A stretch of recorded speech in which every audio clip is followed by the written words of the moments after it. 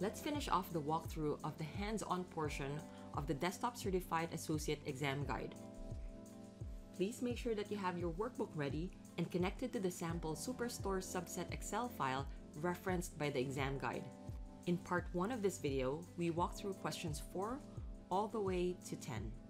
In this video, we are going to finish this off and walk through questions 11 all the way to 15. Let's get started.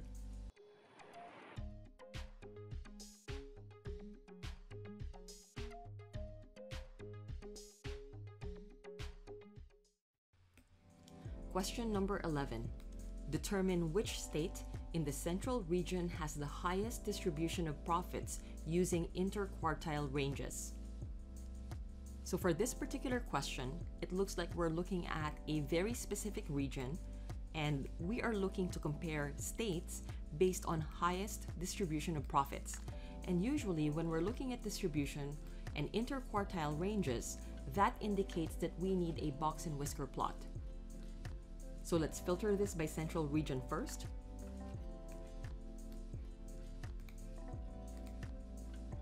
Let's take all of our states. The measure we're looking for is profit, so let's drag profit over.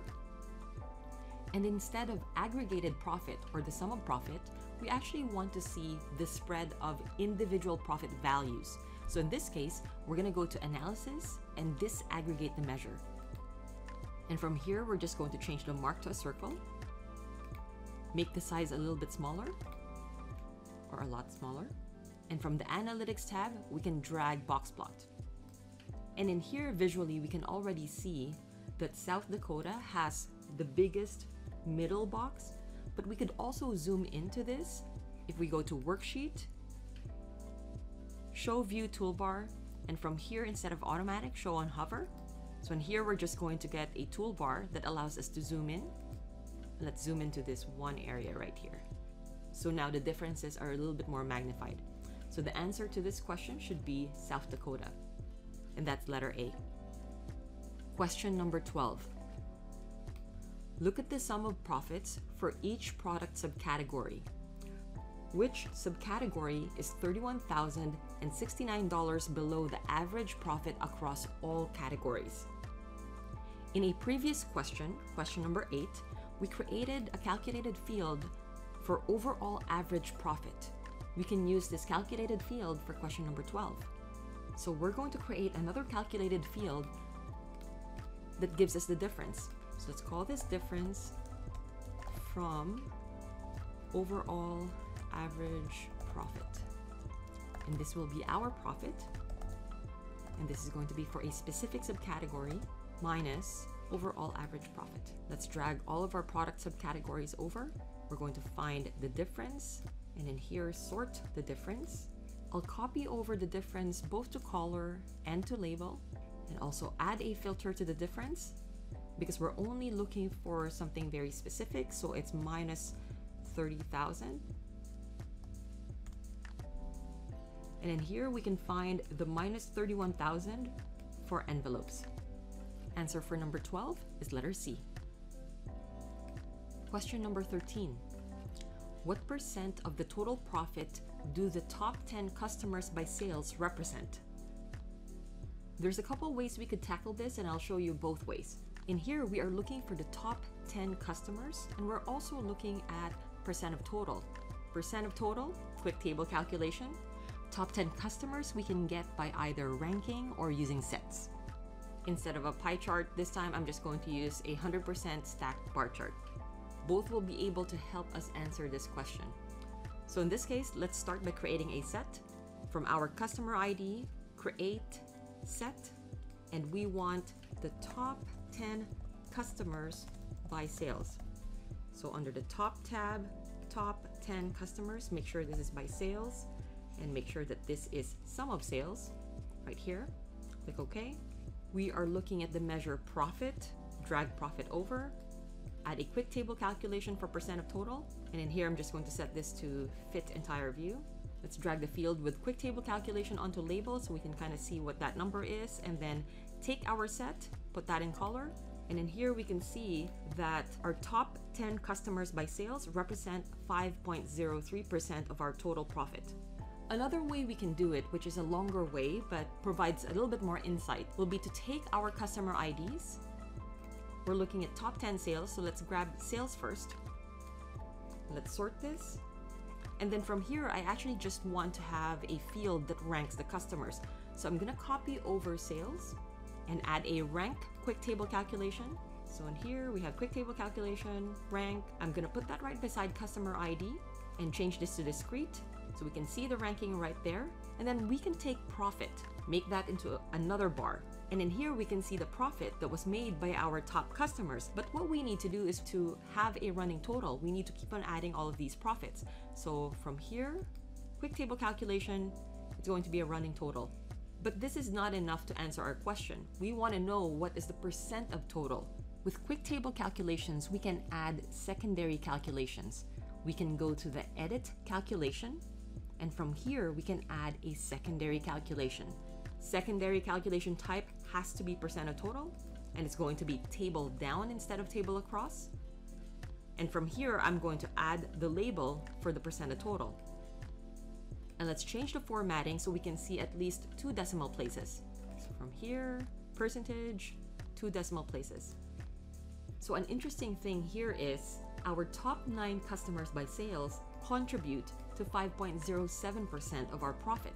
But when we reach our 10th customer, it looks like this has dropped down. So from 5.07%, it has become 5.03%, which tells us we've actually lost money from our 10th customer. So the answer to question number 13 is letter B. If you are finding these videos useful so far, please consider subscribing. I'd really appreciate it. Question number 14.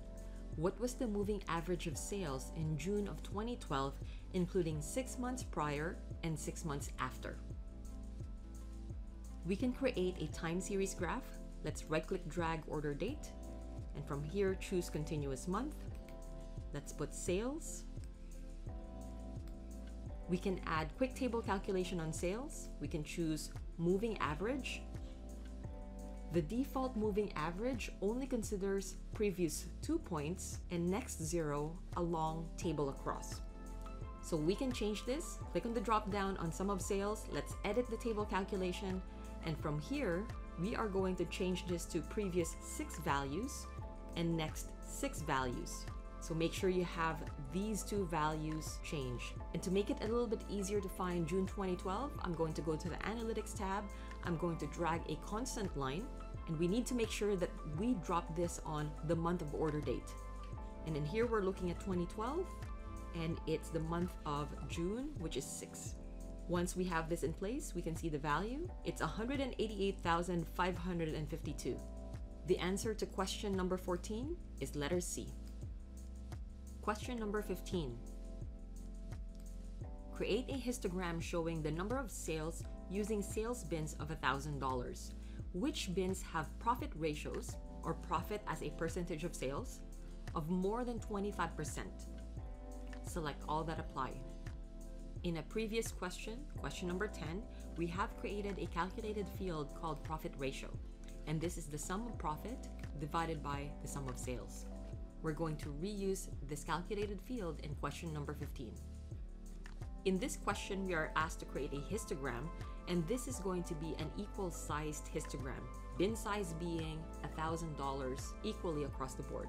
And this suggests we can use a built-in feature in Tableau that allows us to create equal sized bins. Let's right click on sales, create, bin. There is a suggested bin size of $1,800. We're gonna change this. We're going to set this to $1,000. This creates a sales bin discrete field. We're going to drag that to columns. And we are going to take our profit ratio, drag that to rows.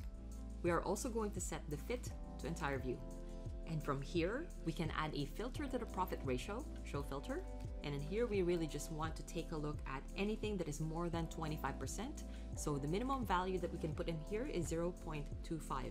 I'm also just going to copy profit ratio, so control drag profit ratio onto label so that we can see the actual values and verify it visually.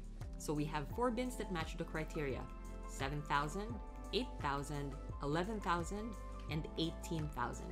So for question number 15, it's letter C for 7,000, D for 8,000, F for 11,000, and G for 18,000.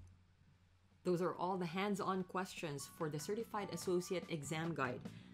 Hope you found it useful. I hope you were able to find new strategies to use not just for your certification preparation, but also for anything else that you're doing in Tableau. If you have any suggestions on additional topics you want to see in this channel, please leave a comment below. I'll see you next time.